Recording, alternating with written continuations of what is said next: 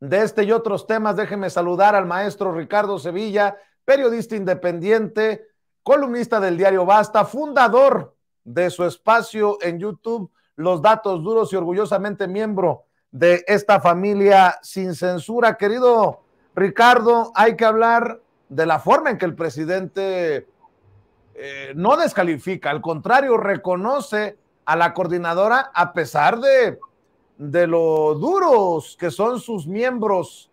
Eh, mi querido Ricardo, te saludo con mucho gusto. Querido Vicente, público memorioso, un gusto saludarte a ti también. Y bueno, no los descalifica para nada porque sabe, sabe perfectamente eh, quién es la gente, qué representa. Son em, personajes eh, muy, muy fuertes, muy duros en la batalla. Han estado del lado correcto y también del lado incorrecto de la historia. Eso hay que decirlo. Se han eh, prestado para defender cosas que tienen que ver eh, mucho, mucho con la educación, definitivamente. Eh, hemos hecho cobertura desde hace mucho, mucho tiempo sobre la CENTE, pero esta mañana hay algo, hay algo sospechoso, pues como usted ya lo vio, elementos de la Secretaría de Seguridad y Protección Ciudadana contuvieron, trataron de contener a algunos integrantes de la CENTE que intentaron, como bien dices, dar portazo, entrar a Palacio Nacional por eh, varias puertas, eh, principalmente por la, de, la, la, del Zócalo. Y bueno, como usted sabe, la CEP dio a profesoras y profesores un aumento, poco más del 8%, 8.2%, pero en la CENTE no quieren, no quieren el 8.2%, quieren más eh, quieren el 100% si así fuera. Pero a mí todo esto, en público memorioso, me parece sumamente sospechoso. Fíjese, justo cuando exhiben a Claudio X González orquestando la reforma educativa de Peña Nieto, sale este grupo de integrantes de la Coordinadora Nacional de Trabajadores de la Educación como para legitimar las palabras del hijo del dueño de Kimberly Clark, que Claudio X González llama delincuencia organizada a los sindicatos magisteriales, pues aquí hay como una probadita de que no se equivocaba, de que los profesores y las profesoras quieren irrumpir a Palacio Nacional haciendo chocar incluso una camioneta contra la puerta,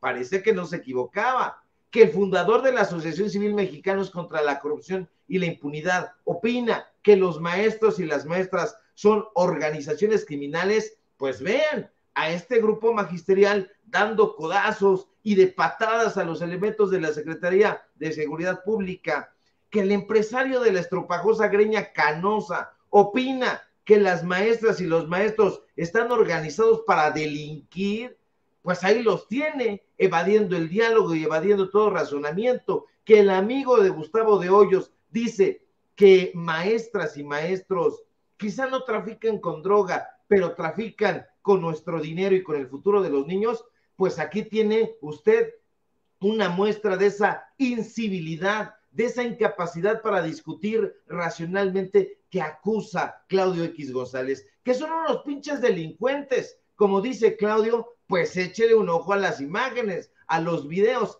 Híjole, híjole, probablemente usted dirá que yo veo moros con tranchete, pero esto me parece terriblemente sospechoso y coincidente con el discurso de Claudio X González. Es más, yo diría incluso que me parece meticulosamente orquestado, que estos supuestos miembros de la CENTE están siguiendo un libreto, un manual de comportamiento, de mal comportamiento, para que la gente se crea eso, esas palabras de Claudio X González completito, porque a mí me parece que las profesoras y los profesores no tienen nada que ver con esto. Son duros, por supuesto, son resistentes desde luego, pero que las organizaciones gemelas están atestadas de pinches delincuentes como ese señor califica, no, no, no, no, no, para nada.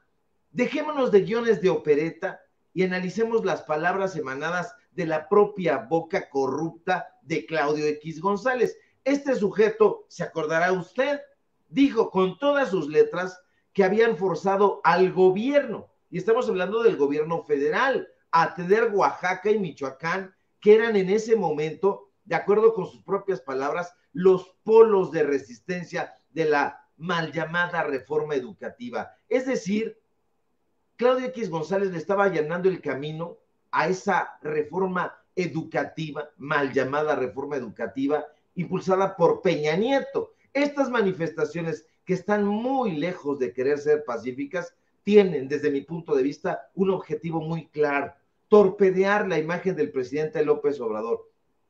Si los maestros y las maestras se salen de control, usted sabe a quién van a responsabilizar, a la actual secretaria de Educación Pública. Si, si se salen de control, ¿quién será el responsable en el fondo? El actual presidente de la República. Si se comportan de manera rijosa, como sea que se comporten, es responsabilidad del presidente. Así lo quiere dibujar Claudio X González. Y de esa manera, por eso le digo que me parece muy sospechoso, porque hasta parece que siguieron el libreto, el guion, para darle legitimidad a esas eh, palabras. Fíjese, que el Estado les haya dado un incremento del 8% y que eso no les bastara, que estuvieran enojados por eso, eso es una mentira del tamaño de una casa. Déjeme decirle que ayer tuve la oportunidad de conversar con profesores de la UNAM y me dijeron que les parecía envidiable el aumento que se les había dado a sus pares en la Secretaría de Educación Pública. Me dijeron que les parecía una resolución excelente que ningún profesor ni profesora ganara menos de 16 mil pesos mensuales, que ya quisieran ellos que en la UNAM se diera semejante eh, incremento, donde el rector, como usted sabe, está gastándose toneladas de dinero, olvidándose de la comunidad universitaria, de los profesores, de los alumnos. Esta actitud intempestiva a mí me parece más que sospechosa, orquestada desde la cúpula. En algún lugar, en algún lugar pareciera o huele o hiede a contubernio. ¿Con quién? Eso se lo dejo a usted para la reflexión, pero yo, a título personal, sospecho de Claudio X González y sus allegados. Definitivamente, me parece algo sumamente construido, muy coincidente, querido Vicente, sospechosamente coincidente. Oye, fíjate, eh, Ricardo, que te quería comentar de esto que veo yo como una campaña contra el secretario de Gobernación, Adán Augusto López Hernández, pero una campaña movida por personajes impresentables, ¿no? Eh, que incluso tú has desnudado, dice, por ejemplo, Emilio Álvarez y Casa. En el 2000, Adán Augusto López Hernández pedía a Roberto Madrazo su apoyo para ser gobernador interino de Tabasco, lo que no es cierto. Mm, este Emilio Álvarez y Casa ya salió como Carlos Alarraqui. Miente, miente, a ver qué queda. Dice, hoy se cobija en su hermano y enemigo de Madrazo, López Obrador, para ser presidente. Vueltas que da la vida el tío, como lo identifica la Secretaría de la Defensa Nacional, por sus vínculos con la delincuencia organizada. Fíjate, le están haciendo esta misma campañita que a López Obrador. Eh, afortunadamente en las benditas y malditas redes sociales ya lo pusieron en su lugar y le preguntan a Emilio Álvarez y Casa si está tan interesado en andar mm, aclarando historias o contando historias, ¿por qué no aclara eh, la verdadera historia de su hermano al que tú has exhibido eh, y para que veas que la audiencia está siempre al pendiente y ha tenido impacto en redes sociales para desnudar, exhibir y refutarle a estos personajes que de otra manera mentirían impunemente. Eh, quisieran ellos seguir siendo los de las verdades absolutas, pero ya se la pelaron.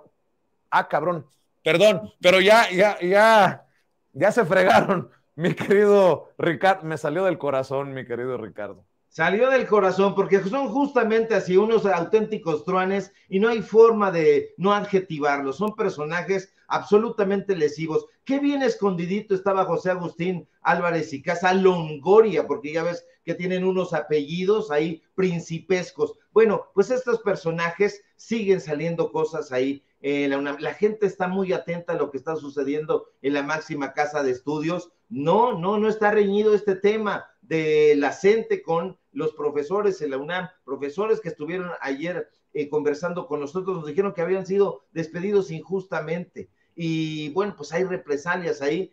Eh, no aclara, no, no aclara em, justamente Álvarez y Casa qué es lo que está sucediendo en la máxima casa de estudios con el secretario administrativo, que es el que maneja y el que firma los contratos en sustitución del representante legal. ¿Y quién es el representante legal de la UNAM? Enrique Graue, el oftalmólogo. Ayer tan solo nosotros cuestionábamos, porque no somos expertos en derecho, si valían o no valían la pena eh, o, eran legítimos, mejor dicho, los eh, títulos que había expedido eh, o firmado Enrique Graue con el grado de doctor, doctor Enrique Graue, y una, una em, burócrata dorada salió prácticamente a amenazarnos, a decirnos, cuidado, no lo vayan a demandar. Y bueno, pues le... ¿Cómo, cómo, cómo, cómo, cómo, cómo, cómo, cómo, cómo, cómo?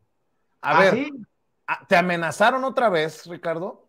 No nos, no nos dejan de amenazar en ningún momento, querido Vicente, porque la verdad es que les estamos pisando ya no solamente los talones, sino los callos, los ojos de pescado, las uñas enterradas, todo se lo estamos pisando. ¿Pero quién es esta persona? Pues bueno, esta, esta mujer es subordinada de, de Henry Lee Alardín, que es el, eh, pues uno de los personajes de la burocracia dorada de la UNAM, el eh, secretario de la ciencia, el uno de los hombres que justamente firmó el contrato de los más de 270 millones de pesos eh, para apoyar, avalar que se construyera el aeropuerto, el fallido aeropuerto internacional de la Ciudad de México, ahí en Texcoco, donde es un pantano. Entonces, esta señora, esta mujer, esta doctora, porque está lleno de doctores, hay cuántos doctores hay ahí, eh, y pues dijo, a ver, él se puede llamar como quiera, porque es doctor honoris causa. Tiene muchos doctorados honoris causa y puede hacer prácticamente lo que le dé la regalada gana. Entonces nosotros dijimos, bueno, no, no es de esa manera, porque ese es un título solamente de Oropel. Si a esas vamos, si a esas vamos, voy a pedirle a, las autoridades en algún plantel, eh, en algún eh, en alguna universidad que nos consideren para poderte decir doctor Sevilla o para que me puedas decir doctor Serrano después de que nos den un honoris causa, aunque sea de una de estas universidades en donde Samuel García compra, perdón, consigue sus títulos, ¿no? Digo, qué locura que, te, que, estén intentando eh, vender humo de esa manera para proteger a Enrique Graue, Ricardo. No, no, no, yo ya soy eh, doctor en datos duros y tú eres doctor en sin censura. En mentadas de madre. Doctor, doctorado en mentadas de madre también. Es que definitivamente estos personajes no tienen vergüenza, tienen un cinismo a prueba de balas. Mira que salir con una grasejada semejante y eso nos da el termómetro, la medida de quién está en la máxima casa de estudios, estos doctores que estudiaron en el extranjero, que están a cargo del presupuesto de la UNAM, un presupuesto, hay que decirlo, millonario, están saliendo con esos, este tipo de argumentos. Es que el doctor es doctor por costumbre, es que el doctor es doctor eh, en términos eh, populares, eh, es que es doctor porque él quiere y si quiere firmar de esa manera los títulos o lo que sea, así lo va a hacer. Y a usted, usted bájele dos rayitas porque no sea que lo vayan a demandar. Entonces, esto ya eh, ha superado el enojo, el encono. Ya imagínate, el rector de la UNAM nos amenazó en la Cámara de Diputados con todas sus letras y dijo que está pensando en la posibilidad de demandarnos. Después Viene Néstor Martínez Cristo, el titular de la eh, Coordinación General de Comunicación Social de la UNAM,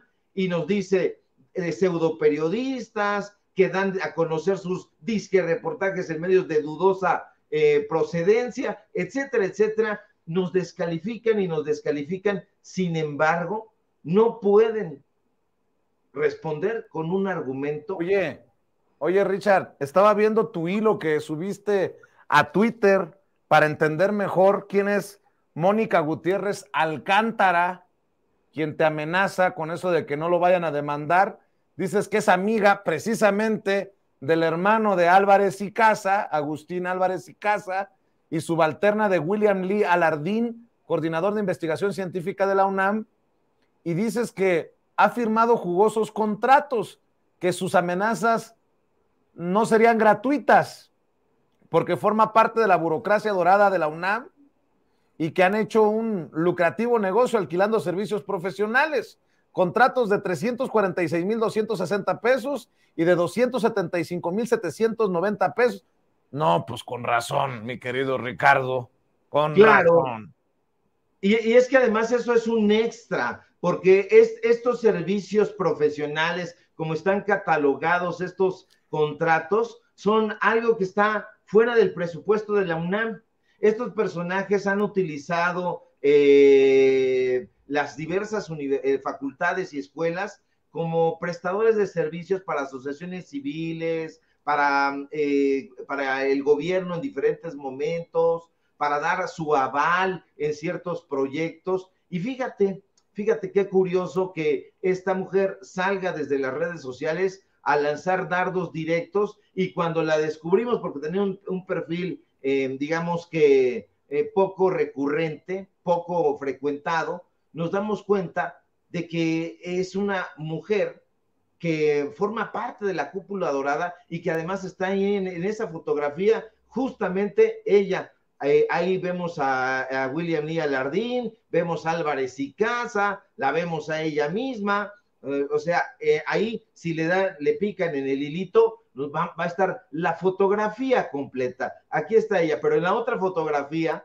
aparece con Álvarez. Ahí está Álvarez y Casa, nada más ni nada menos. Eh, William Lee Alardín y atrás de, de, William está ella. Ahí está toda la... dicen que una imagen dice más que mil palabras, entonces no nos están mandando a algún rijoso, sino ya la cúpula dorada a que nos dé nuestros eh, eh, cocolazos, pero nosotros eh, pues sabemos investigar. A lo mejor no podemos responderle en la magnitud que ellos tienen, lanzarnos a los bots, lanzarnos a, todos estos personajes, pero sí tenemos capacidad de investigar y todo lo vamos atando ya le voy a dar, espérese usted el miércoles porque le voy a tener una investigación. Mañana, mañana. Mañana, mañana. A ver, adelanta, adelanta, Ricardo, no, no seas así. Esto, esto es parte de, de, aquí tengo acuses de recibo de la maestra Elba Ester Gordillo. Ah, cabrón acuses de recibo regalos que les envió a periodistas, regalos de hombre, regalos de mujer, botellas que le manda eh, pues a, a, los chayoteros. Híjole, no sé si conozco a un tal Enrique Krause Kleinbort, a un tal Andrés Roemer, a, ah, a un tal Carlos Loret de Mola, Mañana, mañana le vamos a dar todos los detalles de esta investigación muy interesante y que no nos digan que no recibieron esto porque tiene sellos. Son los acuses de recibo de los regalos que les mandó el Baester Gordillo a estos personajes. Mañana, mañana se los, se los vamos a presentar detalladamente. Así que que no vaya a decir Pascal Beltrán, que también anda por ahí, que no vaya a decir eh, Guillermo eh, Ochoa, otros personajes que están de este lado, que no recibieron esos regalos porque viene los sellos, los sellos de Excelsior, los sellos de Radio Fórmula, los, los, los sellos de Nexos, ah, porque también están los hermanos Aguilar Camín, son dos hermanos, ¿eh? no se le olvide a usted, Héctor Aguilar Camín y Luis Miguel Aguilar Camín. Uno dirige Nexos, el otro la editorial Cali Arena. También está Rafael Pérez Gay, varios, varios personajes. Son... ¿Pero qué les mandaba la profesora? ¿Alguna, alguna Hammer o, alguna cosita así sabrosona? ¿Qué les mandaba la profesora? Diría ah, pues, cara de pescado, mamá de Chucky. Pues mañana les vamos a dar los detalles, mi querido Vicente. ándale, ándale, ándale, adelanta. Bueno, está bien, está bien. Está bien. Mañana entonces. Mañana les damos los detalles y que no vayan a decir que no, porque son varios, varios chayoteros. A ver, entonces, ya, ya la estoy titulando la investigación del maestro Ricardo Sevilla. Los regalos del Baester a chayoteros. Válgame Dios. Y que no vayan a decir que no,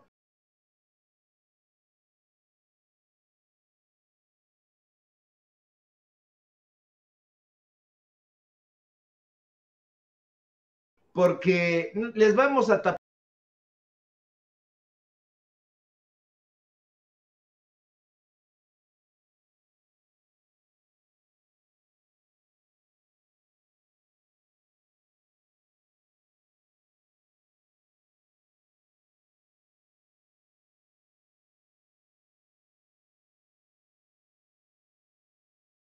Incluso ahí las direcciones, pero híjole, a mí me gustaría saber cómo es posible que Enrique Krause viva en el Pedregal, en Jardines del Pedregal, y las direcciones de sus domicilios las vamos a tapar para que vean, pero todo debe de por ahí, ¿eh? Fuentes del Pedregal, las lomas de, Chapultepec. Ay, ah, ah, caray, por acá un tal Sergio Sarmiento, no sé si, si le suene, pero el Bester los consentía. Vamos, a esperar a que confirme Sergio Sarmiento y si no especulamos, eh, mi querido Ricardo. Oye, Ricardo, ¿por qué no cerramos? Invitando por el momento a la audiencia de Sin Censura a que esté al pendiente de los hilos que estás publicando y que dejan la víbora chillando en Twitter, a que estén al pendiente de tus columnas, de tus espacios, de tus trincheras, maestro. Claro que sí, querido Vicente, público memorioso, no se pierda la investigación del día de mañana y mientras eso ocurre, vaya haciendo hambre, como decimos en el barrio. Síganme, por favor, en mis redes sociales, en Twitter, arroba Sevilla Crítico, en Facebook, Ricardo Sevilla, así nada más. Síganme, por favor, en Paralelo 24, donde estamos impulsando también reportajes, reportajes, investigaciones especiales. Síganme, por favor, en el Grupo Catón, Tabasco Diario Basta, etcétera. Síganme, por favor, también eh, en, los datos duros. Hoy tenemos informativo en punto de las ocho y media y desde luego aquí en la familia sin censura. Mañana, mañana hay reportaje y le va a parecer muy interesante con datos duros. Se los vamos hasta escanear para que los vea y que no vayan a decir, ah, es que yo no fui, quién sabe, eh, no lo recibí, ahí están los sellos. Te mando un fuerte abrazo, querido Vicente, y estamos atentos a la información. Claro que sí, mi querido Ricardo, el maestro Ricardo Sevilla hablando con nosotros sin censura y estaremos al pendiente mañana del reportaje especial. Qué extraño con los números.